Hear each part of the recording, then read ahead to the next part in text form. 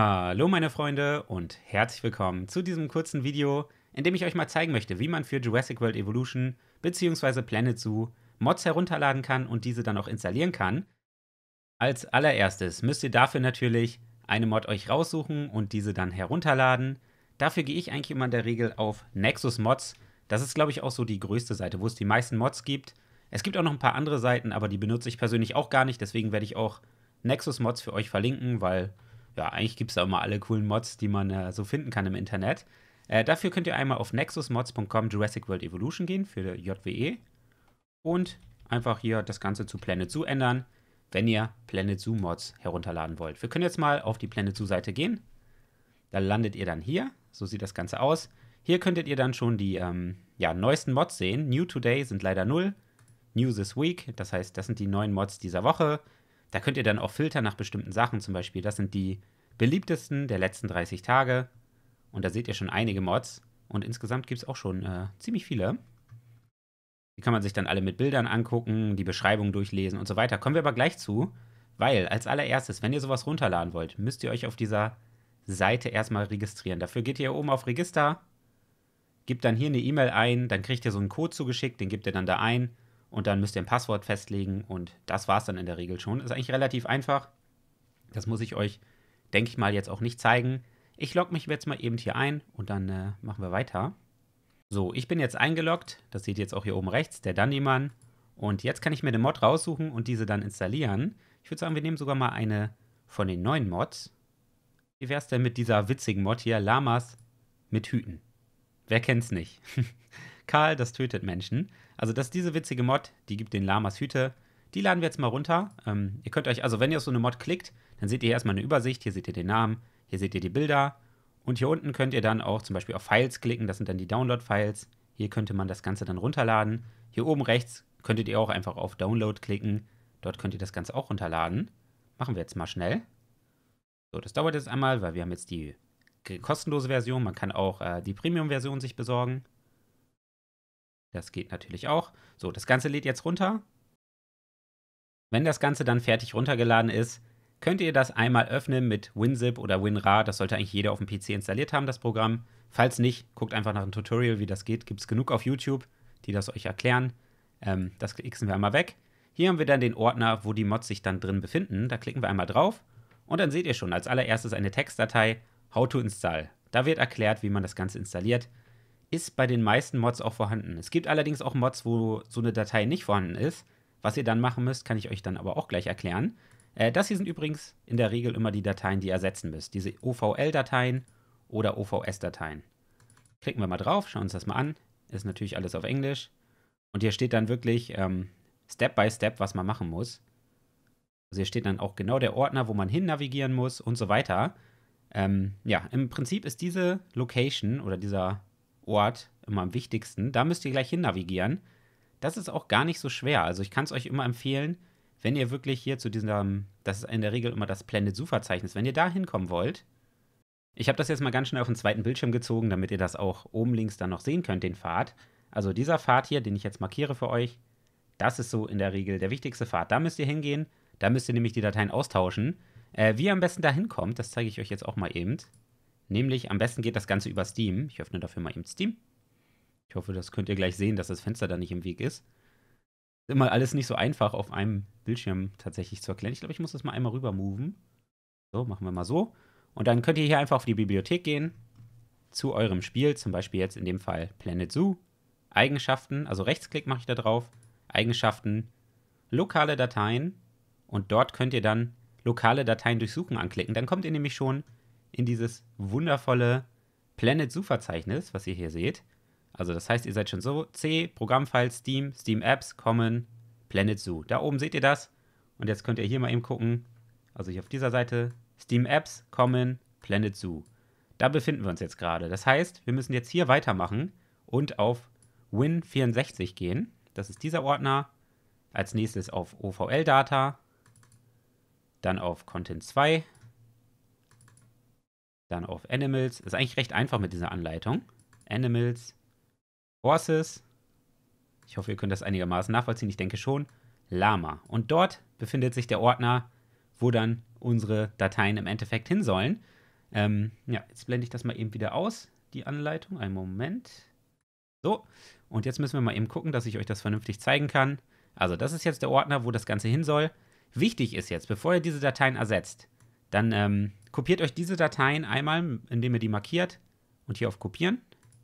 Und dann ähm, kopiert euch die irgendwo auf dem PC. Einfach nochmal, dass ihr ein Backup habt. Das heißt, wenn irgendwas schief geht oder irgendwas nicht mehr funktionieren sollte, könnt ihr wieder die Originaldateien da reinziehen.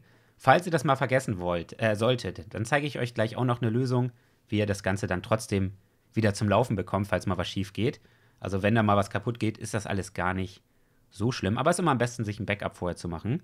Ähm, ja, wir gehen jetzt auf jeden Fall mal in den Ordner. Das sind ja hier die Dateien, die wir runtergeladen haben. Und die müssen wir jetzt in die dementsprechenden äh, Ordner packen. Im Prinzip sind das immer die Ordner, wo sich auch genau diese Dateien schon drin befinden.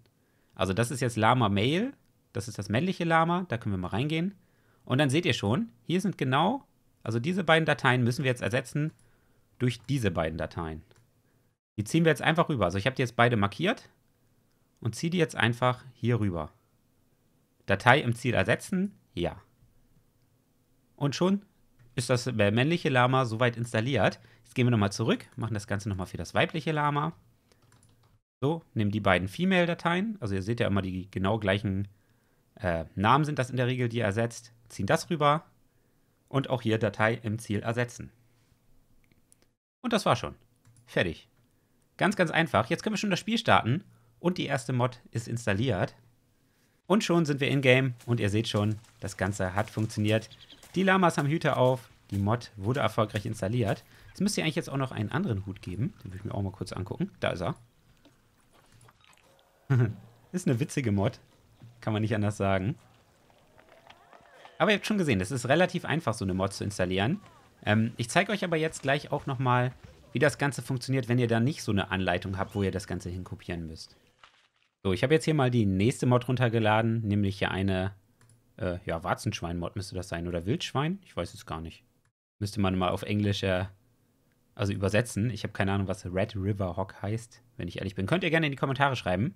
Aber wir gehen jetzt mal hier rein und gehen jetzt einfach mal davon aus, dass hier keine Anleitung drin ist. Die ignorieren wir jetzt einfach mal, weil ich möchte euch natürlich auch zeigen, wie das Ganze funktioniert bei einer Mod, wo mal so eine Anleitung nicht dabei ist. Ihr müsst auf jeden Fall wieder genau in das gleiche Verzeichnis gehen. Äh, diese beiden Namen sind übrigens gleich ganz wichtig von den äh, beiden Dateien. Die müsst ihr euch mal eben merken. Ich blende euch die mal eben nochmal äh, extra ein. Hab das Ganze jetzt oben rechts für euch eingeblendet. Bei mir ist es auf dem zweiten Bildschirm jetzt. Also diese beiden Dateien sucht ihr und wollt ihr ersetzen. Ähm, das heißt, ihr geht erstmal wieder ins Planet Zoo Spielverzeichnis, habe ich euch ja schon gezeigt. Einfach bei Steam, Eigenschaften, lokale Dateien, lokale Dateien durchsuchen. Und dann seid ihr schon im Planet Zoo Spielverzeichnis. In der Regel sind die Dateien, die ihr austauschen müsst, immer hier im Win64-Ordner und in dem OVL-Data-Ordner. Also hier findet ihr eigentlich alle Dateien, die ihr fürs Modden ähm, ja, austauschen wollt. Äh, Im Prinzip ist es so: Content 0 ist das Hauptspiel, Content 1 ist das erste DLC, also das Arctic Pack. Content 2 das zweite DLC, also das Südamerika Pack. Und hier sind auch nochmal so ein paar Dateien drin. Äh, heißt in der Regel, wenn ihr zum Beispiel den Eisbären austauschen wollt oder gegen irgendein Tier ersetzen wollt, dann müsstet ihr hier reingehen, weil hier halt das Arctic DLC ist. Äh, aber ihr könnt es euch auch noch einfacher machen. Ihr habt ja hier die Namen von den Dateien. Und wenn ihr dann hier in diesem OVL-Data seid, könnt ihr einfach zum Beispiel nach dieser Datei suchen. Also Common Warthog, das dürfte das Warzenschwein sein. Das müsste eigentlich schon reichen, wenn ich das eingebe. Drückt ihr auf Suchen und dann findet ihr nämlich hier schon ähm, ja, den passenden Ordner. Äh, die Datei oben rechts, die heißt Common Warthog Female. Das heißt, wir müssen hier in den vierten Ordner gehen, Common Warthog Female. Und schon sind wir im richtigen Ordner. Das sind die beiden Dateien, die wir austauschen müssen. Ging also ganz einfach, auch ohne Anleitung. Wichtig ist jetzt wieder, bevor ihr die austauscht, einmal eine Backup-Datei machen, also das heißt die Dateien rauskopieren und euch irgendwo speichern. Und dann könnt ihr einfach die anderen beiden Dateien rüberziehen und schon haben wir die nächste Mod installiert. Und hier habt ihr nochmal den Beweis, dass das Ganze funktioniert hat. Also die weiblichen Warzenschweine wurden jetzt durch die von der Mod ersetzt. Ich weiß jetzt nicht, welches Tier das genau ist. Das könnt ihr, wie gesagt, in die Kommentare schreiben. Aber ihr seht, das Ganze hat ohne Probleme funktioniert. Sieht auch sehr süß aus, die Mod, muss ich sagen. Nicht schlecht. Falls es mal passieren sollte, dass ihr irgendwie die falsche Datei löscht oder das Spiel crasht beim Starten, weil die Mod irgendwie nicht so toll ist, ähm, dann keine Panik, Leute. Ihr habt ja entweder das Backup, das heißt, ihr könnt wieder die alten normalen Spieldateien dort reinkopieren und falls ihr gar keine Lösung mehr findet, dann äh, auch keine Panik. Es gibt eine ganz, ganz einfache Lösung. Ihr könnt zum Beispiel dann einfach hier auf Planet zugehen, Rechtsklick, Eigenschaften, lokale Dateien und hier auf Dateien auf Fehler überprüfen. Das sollte bei mir jetzt auch funktionieren. Also er sollte auf jeden Fall was finden, weil ich habe gerade einfach mal einen ganzen Ordner gelöscht. Ähm, der sucht das jetzt einmal durch und in der Regel ist es dann so, genau. Er hat jetzt hier einiges gefunden. Ihr seht schon 2189 fehlerhafte Dateien werden erneut angefordert. Die lädt er jetzt runter und dann, wenn der Download fertig ist, dann installiert er die und dann funktioniert wieder euer Spiel einwandfrei. Also wenn ihr mal irgendwas kaputt macht oder irgendwas falsch läuft, keine Angst. Das könnt ihr ganz, ganz leicht mit dieser Funktion äh, wieder reparieren. Ich lasse das jetzt mal eben durchlaufen. So Leute, das Ganze wurde jetzt erfolgreich runtergeladen. Ähm, die Dateien werden jetzt alle überprüft und installiert und dann sollte Planet Zoo eigentlich wieder problemlos funktionieren. Ich zeige euch aber jetzt nochmal ein kleines Beispiel für Jurassic World Evolution. Äh, aber im Prinzip ist das Ganze komplett identisch. Also ihr geht dann einfach hier auf nexusmods.com Jurassic World Evolution und dort habt ihr dann auch eine wunderschöne Übersicht. Da könnt ihr dann euch eine Mod zum Beispiel raussuchen. Äh, das sind jetzt alle neuen Mods von dieser Woche. Das sind sogar relativ viele. Können jetzt ja mal hier irgendeinen coolen raussuchen. Red Eye for Indominus Rex. Oh, das doch, klingt doch ganz nett. Er hat da so richtig knallige rote Augen. Seht ihr hier auf dem Bild. Die können wir uns jetzt mal runterladen und dann installieren wir die auch gleich mal. So, Slow Download. Die Datei ist fertig runtergeladen. Jetzt öffnen wir das Ganze und dann sehen wir hier schon Indominus Rex. Klicken wir mal drauf und wir haben hier keine Anleitung. Das heißt, wir müssen das wieder äh, ja, suchen, diese beiden Dateien im Prinzip. Dafür müssen wir aber als allererstes wieder in das Spieleverzeichnis von Jurassic World Evolution gelangen. Ist im Prinzip genau gleich wie bei Planet Zoo. Ihr müsst halt nur hier in Steam in der Bibliothek Jurassic World Evolution stattdessen auswählen. Rechtsklick, Eigenschaften, lokale Dateien und dann lokale Dateien durchsuchen. Dann kommt ihr in diesen Ordner, könnt hier auch schon mal wieder in Win64 gehen und OVL Data. Habe ich euch ja vorhin erklärt, das ist immer der Ordner, wo eigentlich alle Dateien ausgetauscht werden. Und hier ist das Ganze schon ein bisschen komplizierter, aber ist eigentlich gar nicht so schwierig. Also diese normalen Content-Dinger, das sind im Prinzip alle großen Updates. Das heißt, das ist so das Hauptgame von Anfang. Das ist das erste große Update, zweite große Update, dritte große Update, vierte große Update. Und hier kommen dann die ganzen DLCs. Ich weiß jetzt gar nicht die Reihenfolge, aber das sind so die ganzen Ordner. So ist das Ganze angeordnet. Hier sind dann auch nochmal so ein paar andere Files drin, ähm, aber das nur damit ihr so einen Überblick habt. Ihr müsst im Prinzip gar nicht wissen, was das hier genau ist, weil ihr könnt ja einfach gleich wieder die Suchfunktion nutzen. Dafür blende ich nochmal ganz kurz oben rechts die beiden Dateien ein, die ihr dann äh, suchen müsst, nämlich Indominus Rex OVL. Das könnt ihr wieder einfach oben rechts dann in der Suche in diesem Fenster eingeben. Indominus Rex geben wir einfach ein, drücken Enter und dann äh, findet ihr hier schon den Indominus Rex Ordner. Und da sind dann auch die beiden Dateien, die ihr im Endeffekt dann ersetzen müsst. Ich mache mir jetzt nochmal eine kleine Sicherheitskopie, das heißt, ich kopiere mir die und ziehe mir die mal eben hier auf dem anderen Bildschirm.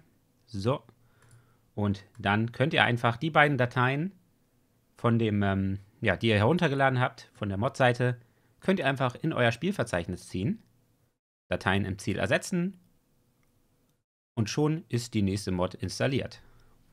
Und so sieht das Ganze aus. Der Indominus Rex hat jetzt knallig rote Augen.